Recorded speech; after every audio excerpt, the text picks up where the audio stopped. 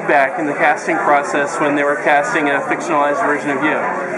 Yeah, no, absolutely, and uh, I also um, I'm good at knowing what I don't know.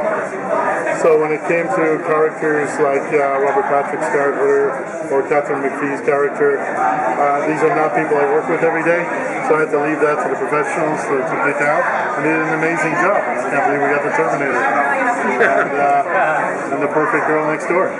Um, for the main characters, obviously, we were casting a character as Walter, and, and some of the other characters are all inspired by real people I work with. So it's interesting for me to sit back and watch the reels and go, hmm, does that look like Fred? or does that sound like Fred? And I think, you know, in pilot season where you have 44 different uh, uh, channels trying to trying to cast the same people in the same two weeks, it's a crazy lottery pick, and we, we really won out, got very lucky with who we got. And, um, you know, it was really when I started watching the dailies and seeing them interacting, I, I knew we got the right crew. Because it is an oddball crew. They're not supposed to match. They're not supposed to blend together. They're all individuals, and that's exactly what we got. There's, but oh, the, the the scene with the car and the airplane. There's a little bit of suspending your disbelief when you're watching that, whether that could actually happen or not. Um, at least for some people. So, so going forward in the series, is that going to be kind of um, a framework that you have to take when you watch episodes, or will they're saving the world um, be more maybe grounded in reality going forward? Going forward, I don't think we, you know, we can't, as we would love to achieve that sort of level of, of, of actions, of adventure, we just can't. We can't do it in series. I think going forward, we have we, we raise a level of suspense. We, ra- we we do a lot of adventure stuff, a lot of things that they shouldn't do because people just shouldn't do those things. But these are extremely high intelligent people who think that they can solve every problem. So they do get into things that they probably shouldn't be doing. But it's much more on a suspense level, much more on a you know on a, on a smaller scale, but with the same sort of stakes and intensity. I mean, what was the most challenging um, aspect of, of putting a pilot together? Because there's just so many different elements. You know, you've got the character stuff, you have the action, you have to keep in mind all the, uh, the different issues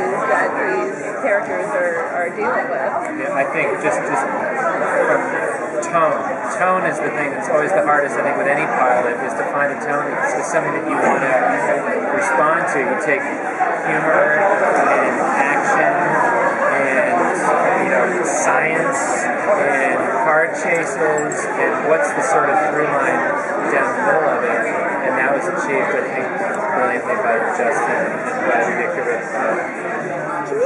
little bit about the dynamics of the team? How do um, you know all of these very highly intelligent people work together? Are they mostly getting along? Is there some conflict? And how does Paige sort of interact with each other?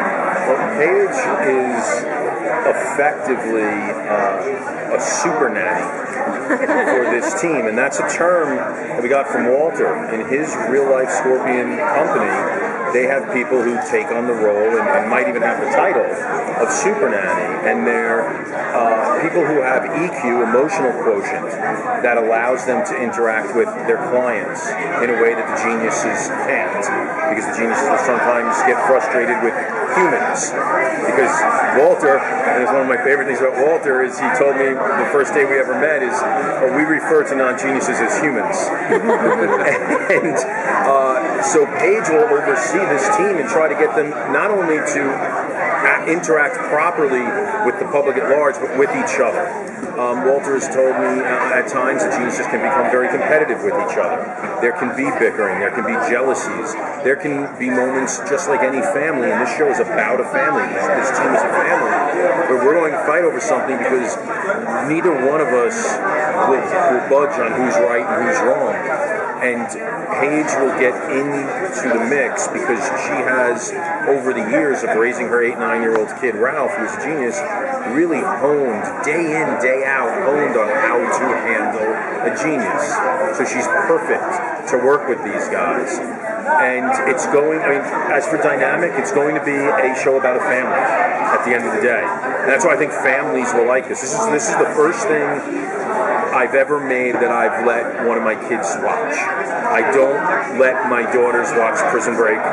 No, no breakout. No, I do not. Breakout Kings is too much violence and too much bad language. Um, but I let my 10 year old watch Scorpion, and man, I was so happy because she flipped for it. Can you talk about um, Walter's relationship with Paige's son and how that's going to develop? Because I thought that was really interesting. That's the heart of this show. This show is heroes and heart and humor.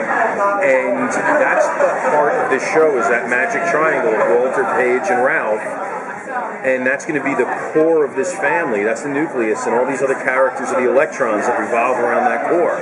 And Ralph is Walter's chance in a weird way to almost save himself. The real life Walter, the first day I sat down with him, was very honest with me. And he said, Childhood was tough. At times it was very tough. At times it was nice, but at times it was very tough. And there were kids who would tease me, and there were uh, teachers who didn't understand me.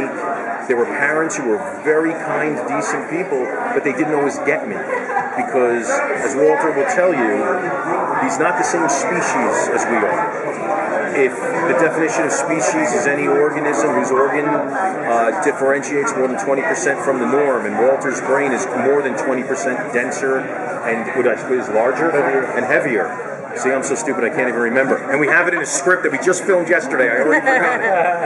And so Walter isn't even the same species as us technically. So that's hard. And now in the show, Walter can connect with this little boy and say, I'm going to protect him in the way I wasn't protected. Because people like us are important. And they are. And I think there's an intellectual component to it where Walter says, I need to protect that kid because they're important. And I think there's the tiniest bit, a little seedling of emotion in Walter, of EQ, where he says, I'm going to protect him because deep down it makes me feel good. And the real life Walter will tell you, I don't know about that, but he's got some emotion in him. It's in there. Walter, how much, how much of what we're going to see on the show really mirrors the things that you've done? I mean, have you ever driven under a plane in a Ferrari before? that, that would be pretty cool. Um, have I driven a Ferrari at that speed? Yes. Oh, Have I been in the plane at that speed? Yes. Have we both at the same time directly over each other, eight feet? No.